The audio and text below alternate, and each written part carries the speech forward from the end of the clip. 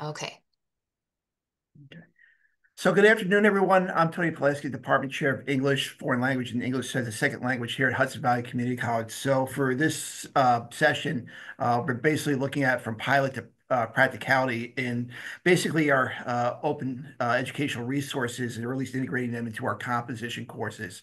So with the presentation itself, uh, pretty much we're just breaking it up into three parts here. It's basically how our uh, pilot program got started and how it's going with the adoption of the OERs after one year, and then taking a look at the future of what we may be considering here as part of uh, of our OER initiative here, uh, at least in our department, is uh, from here on out.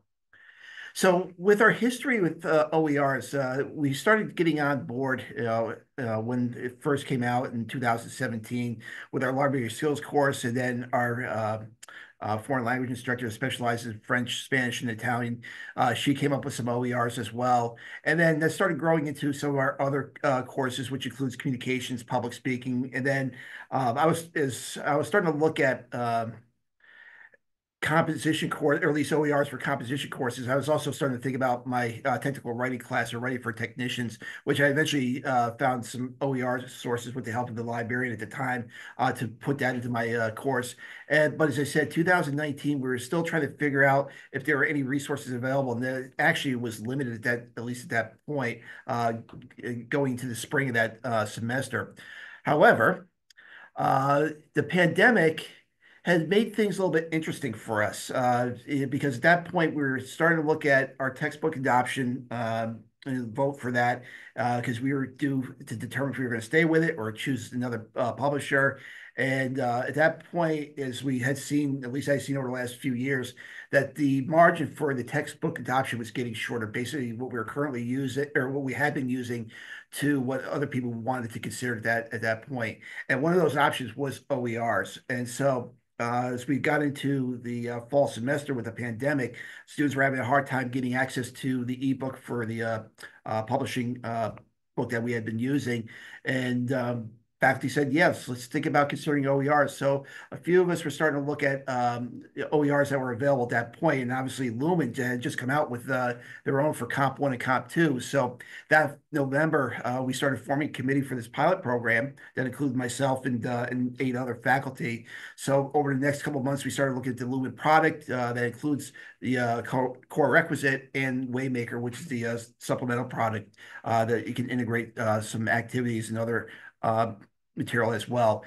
And then the fall 21, we started, you know, really putting into play uh, with just a handful of courses that uh, the, the nine faculty were teaching at that point.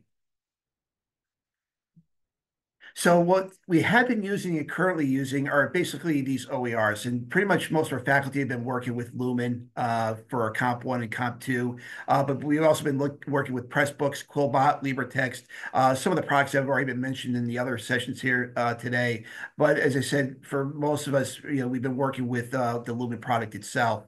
Uh, but for our ESL instructors, they've also been working with another OER that's, you know, solely, solely focused focused on uh, college ESL writers. So again, we're just trying to figure out and trying to find out what sources are available uh, for you know, at least for our students. So they're not you know relying on a textbook that at least at that point. But there's some other things that we've been using as well, at least supplemental materials, and that would include YouTube, TED Talk videos, uh, online writing labs, or at least websites that include Excelsior and Purdue uh, OWL. And then we also have other sources that include uh, articles from the library, uh, library guides, even student essays that we have used in the past with permission of those students. Uh, but there's also much more. And that much more, it would include uh, the reading bank that we've been, you know, pretty much working on over the, not only just the pilot program, but definitely over the, uh, this, you know, past year. It's just adding reading selections that we maybe found in the previous textbook, or maybe other readings that we just found that may be uh, deemed suitable for our writing course itself. So with the help of the library, uh, with just not only just putting uh, the OER textbooks available uh, through a library guide, we're also trying to get uh, a library uh, guide of all the um, selected readings that we have currently have currently on an Excel uh, file. So this is still a work in progress, but we currently have, I think, about 180 readings to choose from for our Comp 1 and Comp 2 classes that, you know, some are accessible online through um, open spaces or open resources. Others are through a paywall or not, me phrase it, not a paywall, but through a proxy server uh, through the library itself. So we, you know, we were starting to really start building a uh, an asset asset of resources for the reading bank themselves. So the part I want to focus on here is just, you know, how has the pilot program been working? Uh, so first I wanted to look at our Comp 1 classes themselves and say, well, you know, how did it go the first year? How did it go the second year uh, in comparison to the textbook to the OERs that we are using? The part I'm really focusing on here, you know, like two areas are just the passing and the withdrawals. Uh, so with passing, uh, the classes or the sections that had the OERs, uh, you know, 66% of the students were passing that class compared to 62% were still using that textbook. And we also saw not as many students were withdrawing, but the, I, I kind of you know, hedge myself on the uh, withdrawals because a lot of times the withdrawal may not be anything relevant to the course itself. It may be some other issues that the student may be encountering that may be preventing from the student going to class, uh, or maybe they did a total withdrawal, which is included in that count. So really, I just more so focus on uh, the, the rate of just passing and those who didn't pass the course, which again was a lot better with the OER out of the first year. Second year, uh, the numbers weren't as good. Uh, yeah, that includes the textbook and the OER. And there's several variables to that. If you look at the fall spring semester of 2021, uh, not as, you know, we didn't have as many students on a campus. So students were still learning remotely, either through a Zoom class or maybe some sense of a, a hybrid or maybe even uh, just solely online. But when students were starting to return to the, uh, to the campus, uh, we saw that they, they were struggling just uh, well, well beyond the course itself. But still, even then, the OERs were still, you know, at least gaining um, at least not necessarily favorability, but were performing better for our students than those who were using the textbooks themselves. Uh, the other part I look at here is gen ed assessment, uh, which I think is an important part of our um, our composition courses. So with our Comp 1 classes, we really focus on the communication goal. Well, actually, focus on two communication goal goals. Uh, the first one being the written, the other being the oral. But I really focus on the written because that's where we use a lot of our resources coming out of the OER or the textbook itself. And again, the students who uh, were in the OER classes did perform a little bit better with the uh, research paper, paper where they either met or exceeded the um, uh, you know the standard for uh, the research paper. Compared to the spring, uh, it was the other way around. But I would say another factor I would say in regards to the following year was you know with uh, enrollment changing, students were looking at different sections, different classes, which means I had to work with different faculty load, and some of the faculty were reassigned to other courses that were once uh, with the OERs. You could pretty much see the difference in just even two classes could make a difference in the percentage here of those who met or exceeded uh, the uh, the comp one research paper itself. But it's still, I, am not disappointed with uh, you know the outcome of the uh, of uh, students meeting or exceeding the research paper just based off the OER compared to the textbook itself is relatively, to me, I think it's similar numbers other than maybe just a 1.1% difference. With Comp 2, uh, this is the other uh, course that we had used with our OERs. Again, uh, with the OERs performing better uh, than the textbooks out of the first year. But again, the second year, uh, a lot of things were changing. And you definitely can see with the number of classes that were using OERs, where 18 out of the first year, only 10 were offered out of the second year. Part of that had to do with schedule changes. since some faculty were losing classes because of literature courses, I had to compensate for them with uh, Comp 2 classes, which means that they were using more, those who were, uh, you know, who needed those Comp 2 classes were still using the textbook at that point, which could be a possibility why uh, this passing rate was a little bit higher. But again, still not disappointed with the outcome uh, of, of the OER, uh, you know, at least uh, we had used as part of the pilot program. So now we're looking at how it's going and where, at least where we are, at, at least at this point, after one year. So when I look at grade distribution, uh, you know, is still similar to what we had, you know, seen out of our, um, at least the first year of our pilot program. But the number of 62.7% is pretty much similar to what it was before the pandemic. So, you know, with that in mind, you know, we're you still have, you know, 10% of students are not passing. Again, 27% who are withdrawing from Comp 1.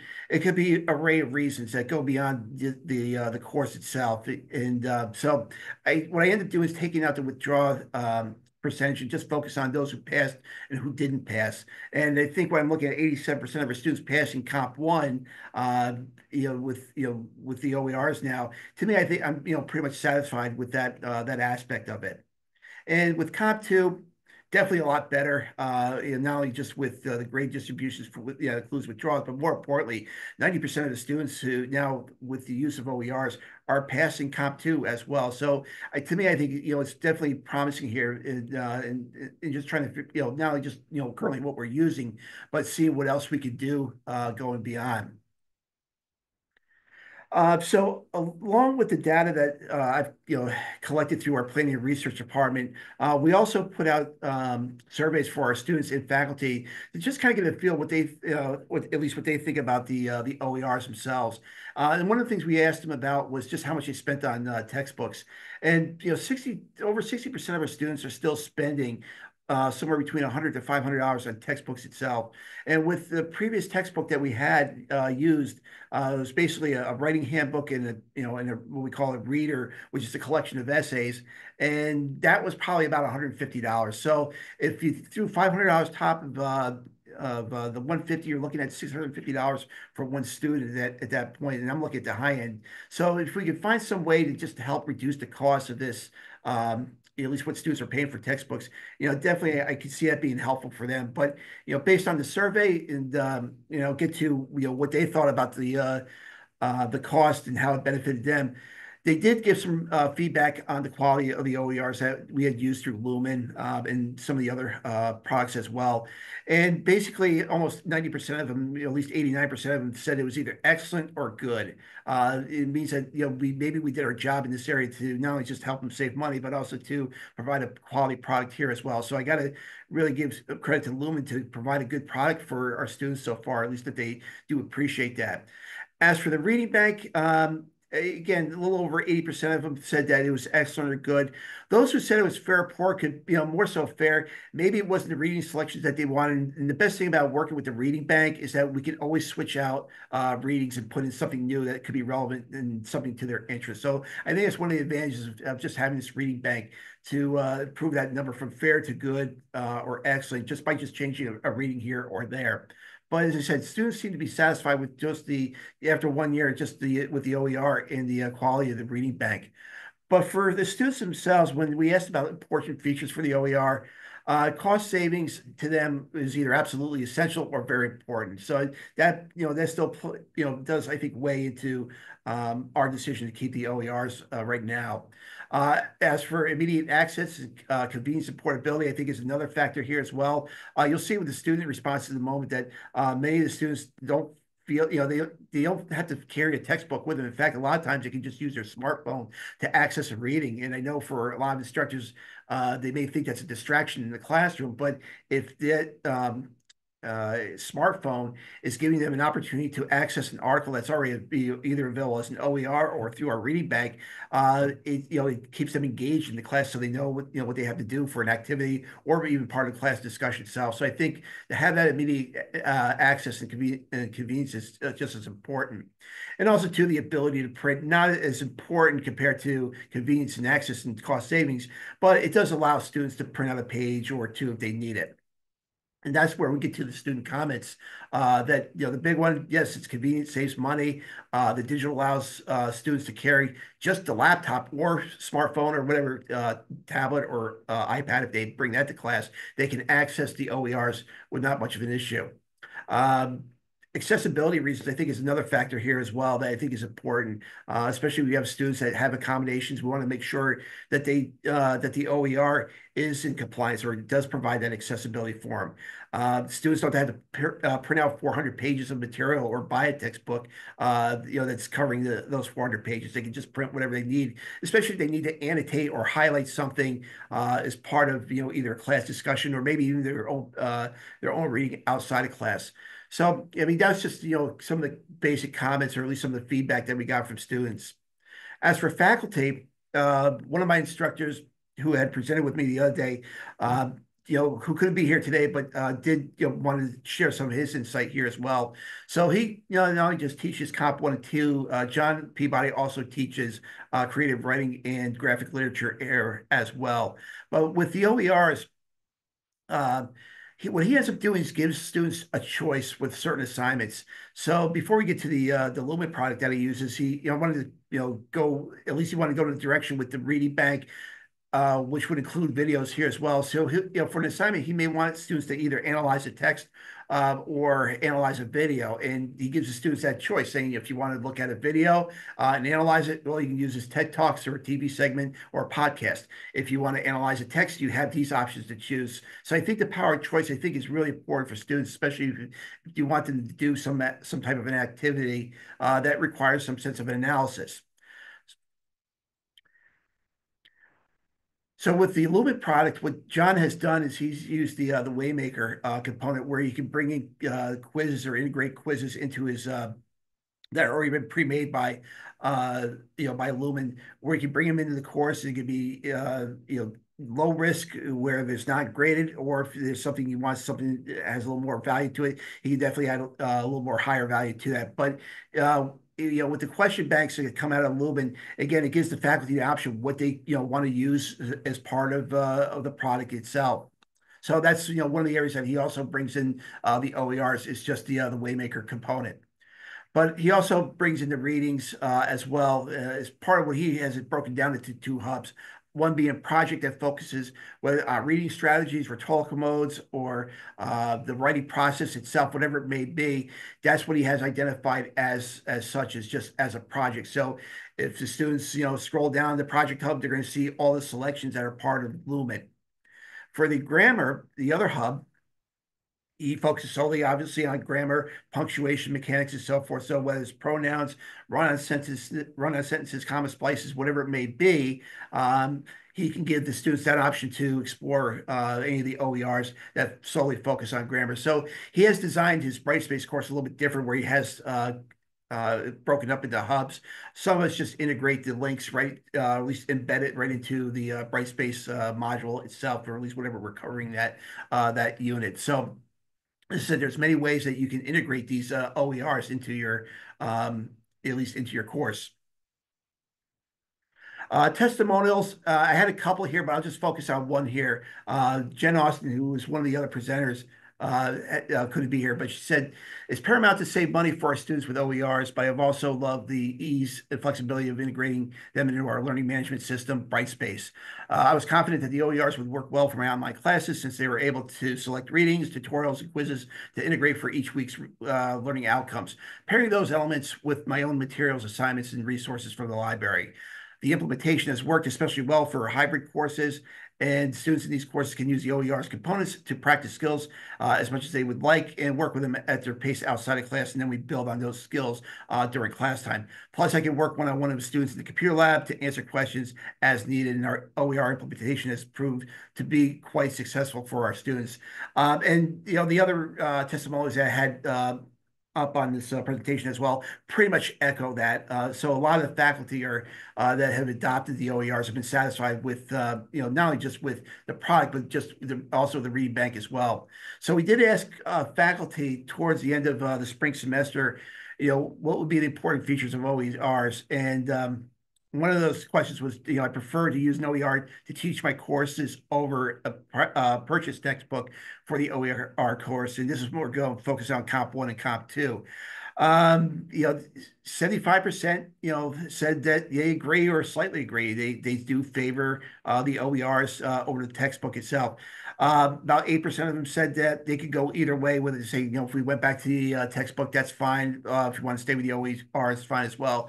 Those who strongly disagreed, the 16%, um, these I would say are traditional uh, faculty that you know wanted to still keep the textbook, um, and and I understand why that aspect because they, had designed all their activities, uh, assignments, and, uh, and, discussions around the textbook itself. So it takes a little more work uh, for for some of those faculty to just come up with uh, something new, uh, you know, working off the OER. but I think it, it just takes time for for I think everyone just to you know learn uh, just you know how to integrate this into their courses and how to integrate into the classroom itself. But I still think overall faculty are still happy with uh, of just the direction that we're going in right now with the OERs. And as for features, uh, again, this pretty much echoes Jen Austin's um, presentation, or in that presentation, but testimonial as well as other faculty.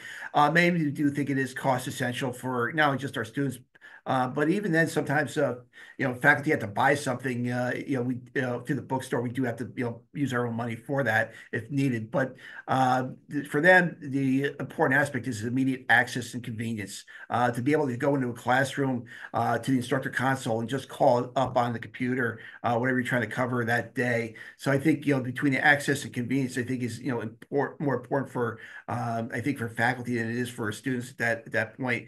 As for the ability to print again for some of us uh, you know if we want to print out and you know highlight things uh, you know before we go into class we can definitely do that. Um, but it, it's not as important to, you know compared to just more so having access to those uh, resources themselves. And you know pretty much faculty feedback that you know and I thought this one was really interesting, and I think uh, really says a lot about learning styles and how the OERs do accommodate for all student learning styles, whether hands-on, uh, visual, uh, or audio. Especially if you're um, working with an OER through Lumen already has a video embedded. Well, already you have the built the video and audio there. Uh, that's you know that's part of it. If students want to print something uh, from the OER, they can you know work with you know taking a hands-on approach by again annotating and highlighting certain passages that come out of the uh, the OER itself. So I think that's part. Um, I think it's you know really important to work with the students' learning style. Ease of integration to D2L, Brightspace, I think is another uh, important factor to that uh, part of uh, OERs as well. Easy use and access in the classroom, cost less, you know, pretty much that echoes the students as well. So the future is I'm, you know, you know, looking, I got like two or three, actually more like four minutes left, uh, but I could probably get this summed up in about maybe one to two minutes. Um, so one of the things that, you know, we're doing, trying to look ahead to uh, working with uh, the OERs is you know we start want to start looking at course shells where uh, we can include the OERs for especially for new faculty, incoming faculty. Our current faculty are uh, you know pretty much you know integrated everything into their courses at this point, even with the uh, uh, selections of readings uh, from the bank itself. But with new faculty, especially part-time faculty, uh, I want to make sure they have something that you know not includes the uh, the OERs and in possible readings, but also to making sure they have a course outline uh, in all the policies that would be needed that would go into uh, a Brightspace course uh, that any other of our faculty offer. Uh, want to continue our ongoing collaboration with the library staff on updating the reading bank. That's you know part of our uh, future I also want to continue to assess the OER's effectiveness, uh, especially with our other courses, uh, uh, which includes our ESL or ENL uh, sections of composition one and two, our enhanced composition, uh, which is basically extended class time uh, for students who need that academic support. And that would include the composition one class for our GAP program as well. And also to develop workshops through the, our college's Center for Professional Excellence. So, you know, we can um, you know, show faculty how we can use our uh, OERs effectively here as well. And that's just a couple of things that, you know, they said we're looking at regards to the future. But I said we're we're going into our second year with the pilot, or not, excuse me, not the pilot program, the, the adoption. And so we want to continue to assess it to see how this is going to work uh, for the next several years, or if we have to, you know, maybe reconsider, go back to a textbook. But I, uh, I really think the way things are going right now with OERs uh, and faculty feedback and even student feedback, uh, the student or you know faculty like it for the academic freedom, uh, the ability to choose their readings. Uh, students like it definitely for cost uh, effectiveness here as well. So that's pretty much it. I just uh, last thing I just want to mention is, uh, you know, if you have any questions, uh, you can definitely reach out to me. I still have, I can still answer some questions here this, uh, this afternoon. I do want to give some credit. Uh, again, I mentioned about John Peabody for being part of the uh, uh, creative design around Canva. Uh, but I also want to thank my faculty uh, for being supportive on this initiative, as well as the support from uh, our Office of Distance and Online Learning, and then the Marvin Library for assistance as well. All right, thank you so much, Anthony. I appreciate um, I appreciate the presentation. That was very well done. Um, if anybody has any questions or if they want to email, you're more than welcome to do so. Any finishing thoughts? I have a question. Yeah, Hi, I apologize for coming late. Of course, the two things I'm interested in are at the same time, right? So I was just coming over from integrated reading and writing. So um, I work at the Writing Center at Nassau Community College. So I'm interested in writing, but I also teach um, an ESL class. Um, so when you're talking about the OER, is it for synchronous, asynchronous, traditional, every modality? every modality. So it doesn't matter if you're if you're teaching in person, uh, you know, if you teach a class uh, Monday, Wednesday, Friday, and the Friday Mhm. class computer lab, uh, it works there. If you are teaching a hybrid class where you're meeting Monday, Wednesday, and your third contact hour is online, uh, the OER works there. Online, uh, the asynchronous works great as well. Um, so as I said, with the pilot program, when we did it in uh, starting 2021, the fall 2021, we were starting to work with all modalities, you know, whether it was uh because we had just started coming back on campus at that at that point. So we worked through remote, in person, um, asynchronous, hybrid. We worked with all modalities. Mhm. And um, I know that uh, some of our ESL colleagues are concerned that um, having ESL students work too much online, um, synchronously or asynchronously is just too tempting for translation or AI or plagiarism. Have you had that experience? That's a great question. Uh, with uh, the faculty who have been teaching um, our ESL comp comp classes, there hasn't been much of an issue with that. Uh, and I think a lot of it is pacing. Um, you know, with with the students themselves and and and trying not to give them too much. Uh, at least information because it can be overwhelming for them. It really can. So I think it, it's just if you work in small bites, and that's why I think the one uh, textbook that I or let me rephrase that the OER uh, for uh, ESL writers has been really beneficial. It's it's not overwhelming uh, for for the students, and not only that, but the you know I've seen the instruction uh, that it, it works well. I, I've seen it in action. It works well. And is that something that you're you created or something that we could look into? Uh, one of the things I could do is I could share, um, you know, I can download the uh, Canvas slides and as a PDF, and I can email you, email you, That would be great. I'll and just it'll put it have on. it'll have the link. You may Mhm. be able to have access to the link if it's done correctly, uh, but the title of the OER is there as well. Thank you. All right, thank you so much, and thank you so much for everybody else for being here. I will now pass it on to the next um person. I'll have um I'll pass it over to Megan and then to the next presenter. Thanks, Ally.